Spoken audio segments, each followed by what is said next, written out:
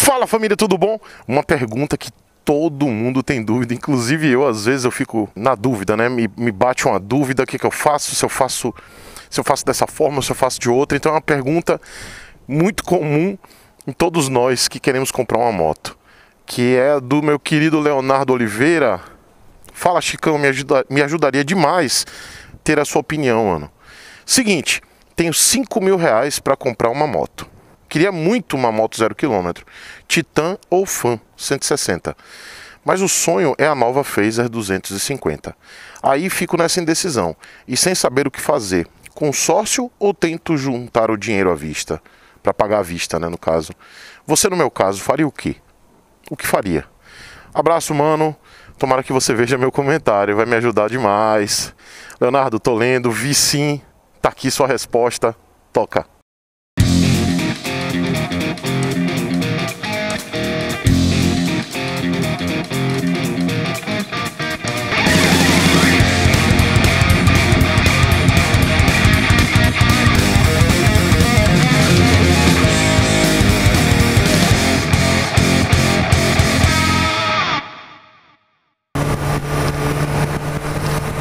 Então, Leonardo, essa dúvida sua bate em qualquer um que quer comprar uma moto.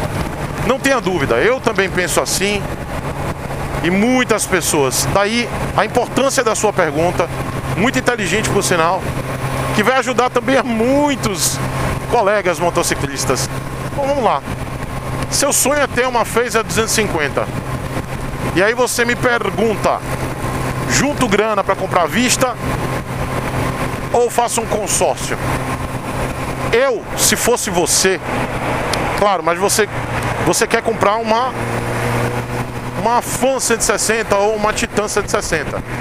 Com esses 5 mil, você daria aí um, um lance e quitaria aí par, pelo menos 50%, quase 50% do valor da moto, né? Então você tiraria com esses 5 mil num consórcio, você tiraria a moto aí mais ou menos até 4 meses, entre 90 e 120 dias, num consórcio em andamento. Porque esse valor aí você tem aí quase 50% do valor, do valor da moto. Né?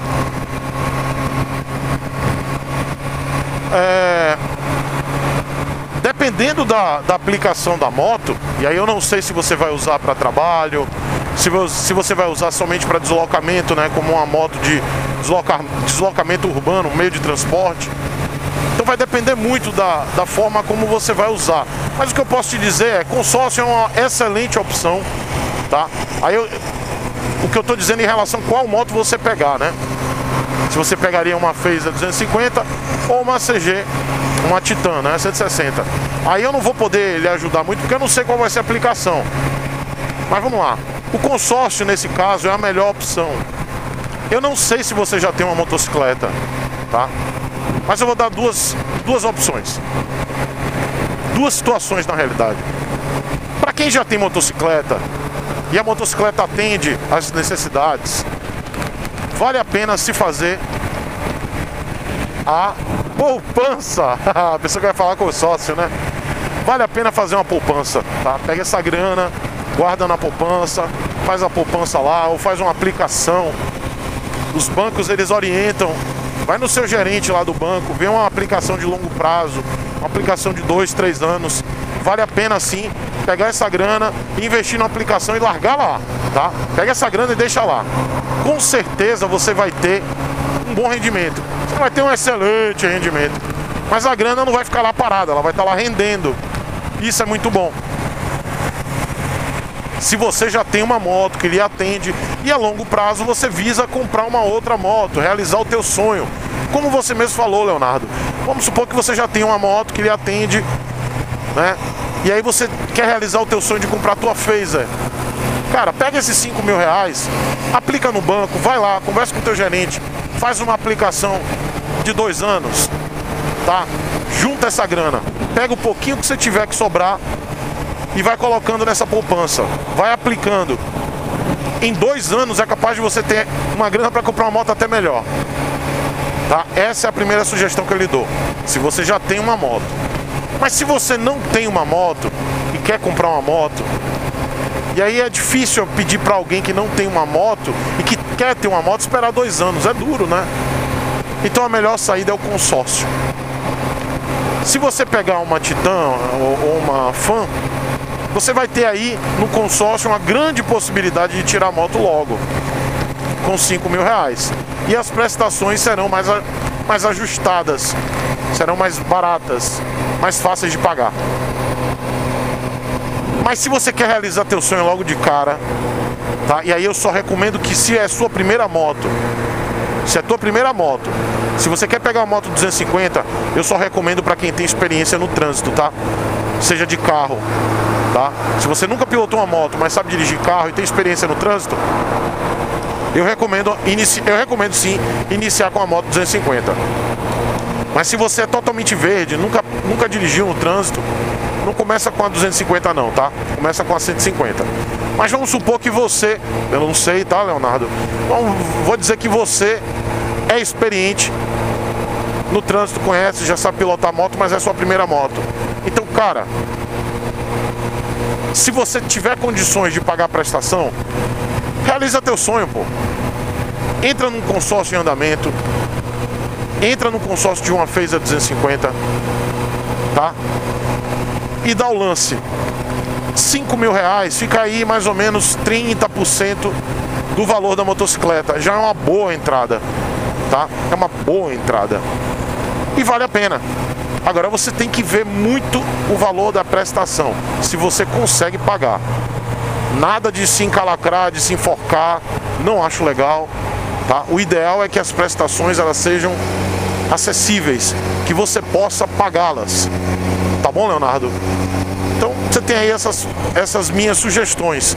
Primeiro, se você já tem uma moto que lhe atende, pega esses 5 mil reais, coloca na, faz um investimento, tá? Conversa com o gerente do teu banco, faz um investimento aí, uma aplicação de dois anos e vai colocando o dinheiro lá. Vai aplicando. Dois anos, não mexe nessa grana. Você vai ter uma boa grana aí em dois anos. Em 24 meses você vai ter um rendimento bom. Se você não tem moto e quer ter tua primeira moto, se você já tem. É, bom, é tua primeira moto, então a CG, a FAN e a Titan são uma excelente escolha, tá? Para quem quer trabalhar, quem quer se deslocar, quer ter economia, tá? E a prestação fica mais em conta. E com 5 mil reais você vai tirar essa moto muito mais rápido no consórcio. Então entra no consórcio, pega a sua é, FAN ou Titan 160. Mas se você quer realizar teu sonho e tem experiência, tá? Não é sua primeira moto e você tem, é, ou pode ser sua primeira moto, mas se você tem experiência no trânsito, realiza teu sonho, cara. Vai lá, pega a Feza 250, mas antes de tudo, vai, no, vai na concessionária, faz as contas direitinho, vê o valor do consórcio, vê o valor do seguro, faz as contas, faz os cálculos, soma tudo, vê se você tem condição de pagar, tá? Para depois você não ter que vender a moto. E aí, cara, você vai perder dinheiro, tá? Eu quero te dar a sugestão certa, tá? Não quero que você viaje muito, pega a moto e depois de alguns meses você não consegue pagar, tá? Espero que eu tenha sido claro, espero que eu tenha ajudado. Eu penso assim, tá, galera? Eu tô simplesmente falando o que eu penso. E eu espero que tenha ajudado a vocês. Se é a tua primeira moto, você quer pegar uma moto, tem condição de pagar para realizar teu sonho, vai lá, se joga, faz o consórcio. Mas se você não vai ter muita condição, a prestação vai ficar pesada, vai na moto que o bolso dá. Tá bom? Depois, no futuro, você vai conseguir comprar a moto do teu sonho. Foi assim que eu consegui alcançar é, as motos que eu desejava. Subindo degrau por degrau. Tá bom? Mas, Leonardo, eu gostaria muito que você lesse as opiniões dos meus inscritos. Aqui o que vale não é somente a minha opinião, mas a opinião da comunidade toda. Então, galera, vamos deixar aqui as nossas opiniões, deixa aí as opiniões de vocês, façam os comentários, deixem os relatos, o que, que vocês fizeram quando compraram as motos de vocês. Coloquem aí suas experiências para que o Leonardo ele tenha uma noção legal, tanto da minha opinião quanto da opinião da comunidade toda, tá bom? Então vamos nessa, todo mundo ajudando aí o Leonardo a tirar essa dúvida e vamos ajudá-lo aí, não só ele, mas a outros que vão ler os comentários. Então quem estiver assistindo aqui o meu canal, Pode ter certeza, os comentários são muito válidos. As, leiam, assistam o vídeo e leiam principalmente os comentários. Porque quem faz esse canal aqui não é somente o Chico, não. São os inscritos. Tá bom? Não esquece de dar o joinha. Não esquece de participar das rifas do canal. Tá? chicosepulveda.com.br A gente ainda está com a MT-07 com a cota no valor de 80 reais, uma scooter Link de 125, 0 km com a cota valendo 20 reais e a motoca da gente, minha e do Motoca 071. Parou, parou, parou. Parou, parou. Deixa eu te perguntar uma coisa, você tá afim de ganhar uma CB400? No canal do Chico Sepúlveda tá rolando uma rifa de uma CB400. Lá você pode comprar as cotas e concorrer a essa moto. Você vai estar tá ajudando eu e o Chico a fazer um documentário sobre a Patagônia. Então todas as pessoas que comprarem uma cota ou mais da CB400, além de concorrer a essa bela máquina, vai participar do grupo fechado do Telegram. Faça parte dessa aventura. Venha na garupa com a gente. Conto com a ajuda de vocês, hein? Vamos pro vídeo então, meu filho. É, a CB400, a cota por 40 reais. Um beijo, até amanhã!